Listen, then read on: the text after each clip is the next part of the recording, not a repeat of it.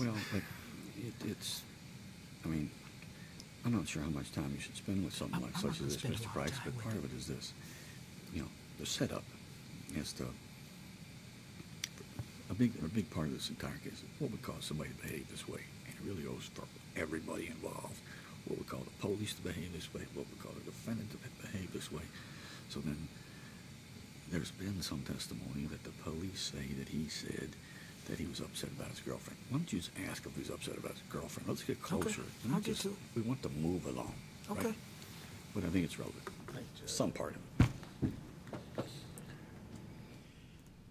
Okay, so it is, I am correct, Mr. Masters, that prior to leaving your residence, you were there with your girlfriend, is that correct? The- I lived with my roommate and my girlfriend was uh, at the house, yeah. Okay. And when you, were you upset with your girlfriend prior to leaving your residence to go out and get this beer and snack? I wasn't I wasn't mad. I was I was sad. She was going to go out dancing with her friends, and I didn't want to go out dancing. I mean, I don't I don't go out drinking. I don't go out partying because I just want to you know, become a U.S. history teacher. Okay, did you, did you tell Detective Cassie or Detective Browning that you were upset that evening because your girlfriend was going to go out with uh, uh, another young lady that evening? No, I said that I was sad about it. So, is that what you mean by upset? No, no, no, I, I mean upset. When I say upset, I mean upset. I was I was sad about it. I mean, she was going to you know go party, and I was just going to stay uh, at the house by myself and watch some TV. So that's why I had went to the store to get something to drink, give me a stack, and I was just going to stay inside the house. Would you agree with me that when you left the residence, part of your purpose of going to the store was in an attempt to cool off? It wasn't an attempt to cool off. It was uh, I was resigned to the situation. Um, she could do what she wants to do. She wants to go out dancing, so I was just uh, going to be at the house by myself. I mean, I was sad about it. She was going out, you know, with somebody that wasn't me. It was Friday night, so. And she did leave me, you know, shortly after this.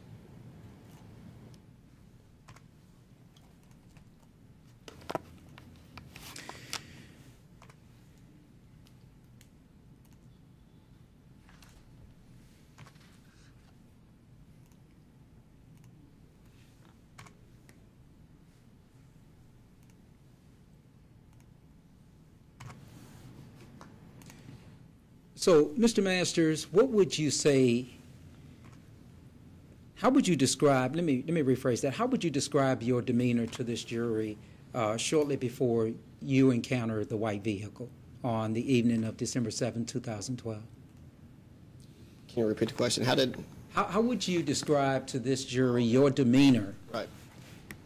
on the evening of December 7, 2012, prior to encountering that white vehicle? I'd say cool, calm, and collected.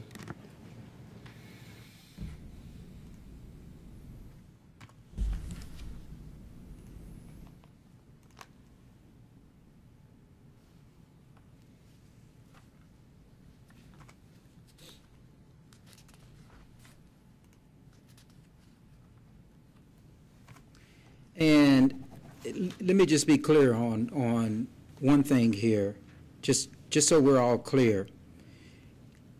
You threw the first punch on the evening of December 7, 2012 to Detective Cassie, is that correct? With provocation, yes. Well, you threw the first punch, is that correct? Yes. Okay. And can you tell the ladies and gentlemen of the jury where Detective Cassie was when you threw the first punch? He was five feet in front of me, and so I took a step, and as soon as he exited the door, that's, that's when I hit him. Okay, so when you say he was five feet in front of you, can you tell the ladies and gentlemen of the jury how far he was away from his vehicle? He was in his vehicle, so he was stepping out, and he'd put one foot on the ground, and he was looking at me, and then that's, Okay, so it's fair to say that as Detective Cassie was getting out of the vehicle, you approached the vehicle, and then that's when you struck. Is that correct? I took one step forward, and I hit him, so yes, yes. Okay. But you struck him, you struck him before he was able to completely exit the vehicle. Is that correct, sir? Yes. Okay. And is it your testimony here today, at no time did you hear either Detective Browning or Detective Cassie say police? No, they never said it. Okay. Even if they had said that, would, that wouldn't have really mattered to you, would it have, would it, Mr. Masters? It would have. When they did say it, that's when I surrendered. So if they would have said it prior to it, you know, I would have. Uh, I respect the police. Well, your earlier testimony, sir, is that even though he said police, the police could be anybody. Yeah. So, although Detective Cassie or Detective Browning shouted police prior to you approaching the vehicle, you still continue to approach the vehicle in an aggressive manner. Is that correct, sir? Yeah. Because in your words, sir, the police could be anybody. Is that correct? No, that's not correct. Uh, when he said he was the police, I took his word for it because actually I, I generally believe people mean what they say and they believe what they say. So I looked for some other evidence or some other sign that he was a police officer. So had they told me that there was the police to begin with, that nothing nothing would have happened. I mean, they would have said the police, you know, get off to the side. I would have got off to the side. They would have asked me whatever questions they needed to ask me for whatever reason they wanted to stop me.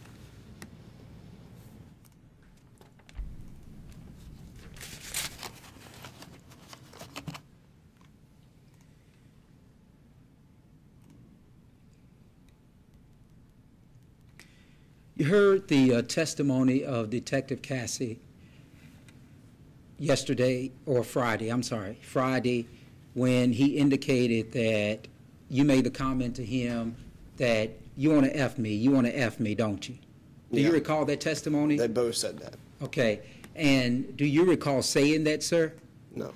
Okay, do you, is, is, is that something that you normally will say under circumstances like this, sir? I, I said, I mean, they had punched an innocent man, so are you are you going to fuck me up? Are y'all going to fuck me up? Or are you going to keep on hitting me, or is is this over? Y'all done? You know, I didn't I didn't know who they were, and they just kept on coming at me. Okay. Do you ever recall using similar terminology like that prior to December 7, 2012, sir? Have I ever cussed before? No, no, no, not cuss. Kind of the same type of language that was used. In other words, you want to F me, you want to F me, don't you? Or you want to rape me, you want to rape me, don't you? Or something uh, along those lines. I don't recall. I don't know. You don't know? Okay. Are, are you, when, when you, do you, uh, you own a computer, don't you, Mr. Masters? Yeah. Okay. Uh, do you blog, sir? Yeah. Uh, you ever heard of the Louisville Forum, Topix.com? Objection, Your Honor. Can we approach, please?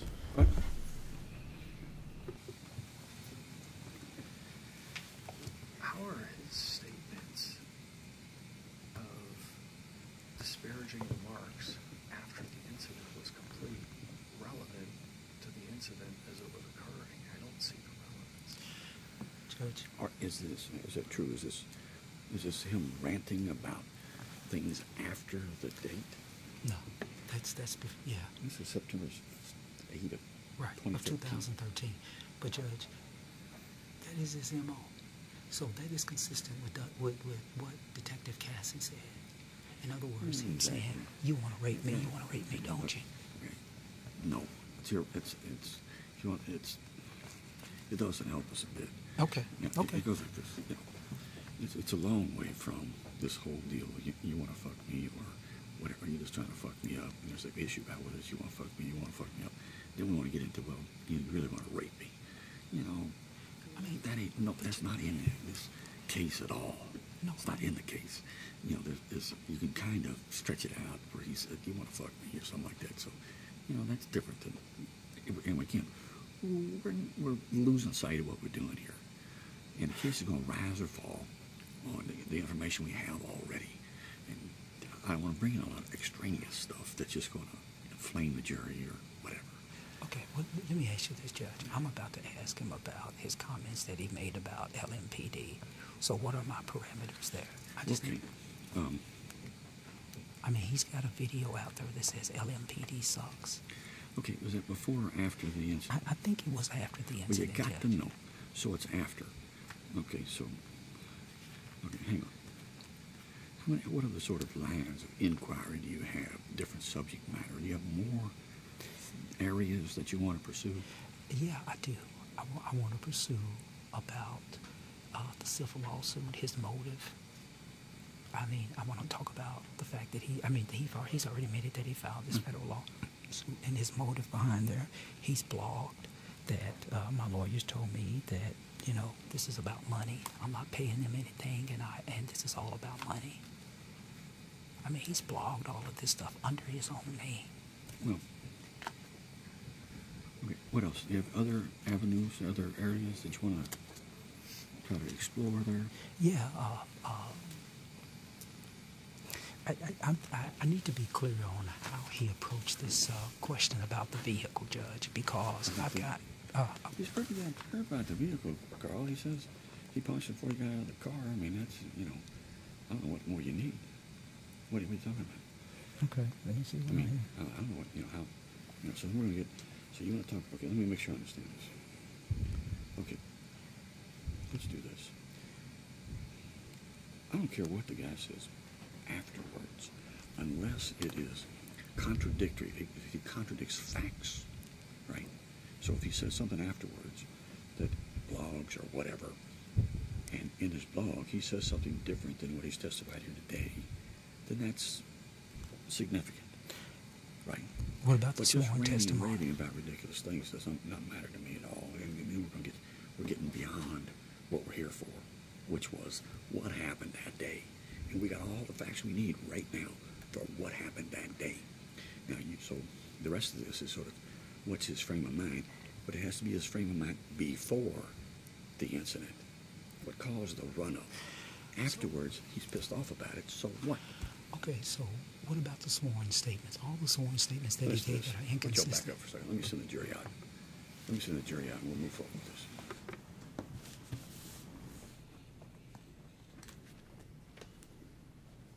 All right, ladies and gentlemen, uh, we're going to need to take a break. And we have to get ourselves organized, and it's something that happens all, all the time in trials. Uh, We need to get ourselves organized to make sure that we uh, get you all the information that you need. So we're going to take about 15 minutes. Again, uh, you need to um, reserve your judgment. Do not formu- formulate an opinion about the case. Uh, Don't discuss the case among yourselves. Uh, Don't allow anyone to approach you and attempt to discuss the case with you. Should somebody attempt to discuss this case with you, notify the deputy or myself, and we'll take appropriate uh, steps. So I'd say, uh, if you would, assemble on Deputy Weathers in about 15 minutes. The jury.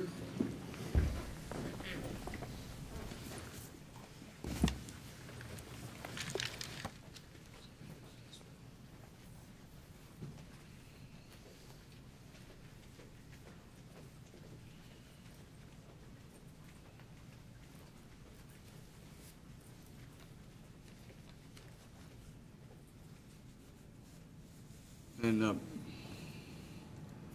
Mr. Masters, you can stand down too. Uh, Again, uh, I- you cannot talk to anybody about what you testified about or what you intend to testify about, uh, but you don't have to stand up there or sit up there. All right, now let's get through this, uh, Mr. Price, and see if we can. All right. Because I'd really love to just move forward on this. Okay. um, Okay. So we, okay. Uh, Any statement that the defendant made after the event, uh, we're going to have to go through every one of them. And there's a difference, there's a difference. If there's a statement, it's because you, we had talked about uh, the fact that the defendant's got given several sworn statements, whether it's affidavits, whether it's a sworn statement to the grand jury, whether it's a- some kind of sworn statement to the uh, professional integrity unit, or whatever it is, those sworn statements, in- those affidavits or sworn statements, the defendant, under oath, is alleging facts, right? So he's in response to questions or what, however it's presented, the defendant would, has outlined certain facts. Now, anything in those affid, those sworn statements that is contrary to what he said today is certainly admissible. So let's, let's understand that. Now, now, the only thing I'm concerned about is I'm not sure that, that, that, the- that the defense has the, we don't have the grand jury transcript. You don't have the tape of the grand jury there, uh, Mr. Shore? No, I do not. Is it Shore or Shore? Sure.